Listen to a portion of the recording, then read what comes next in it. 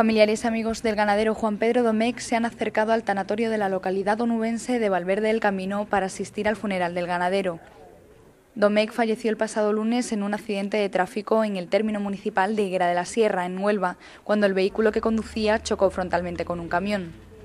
Los diestros Javier Conde y Víctor Puerto son algunas de las numerosas personalidades del mundo del toreo que han querido despedir al empresario y que han acompañado a la familia Domecq en el funeral. Para mí un personaje inigualable, un, genio en todos los sentidos y un, hombre genial, para mí una persona mágica en todo lo que ha hecho en su vida. Hombre, yo creo que cuando ocurre una cosa un accidente y, encima es amigo, pues siempre es doloroso, ¿no? Y bueno, en el mundo del toro, como bien dices, eh, va a ser una gran pérdida porque es un, un hombre que se le ha admirado y que se le ha querido por todo lo que ha amado este mundo, ¿no? Y la verdad es que es una pérdida importante y que se va a echar de menos. Tras la misa se ha procedido a la incineración del cuerpo del ganadero, cuyas cenizas serán llevadas a la finca Lo Álvaro, donde pasta la ganadería de la que era titular, en el municipio sevillano Castillo de las Guardas.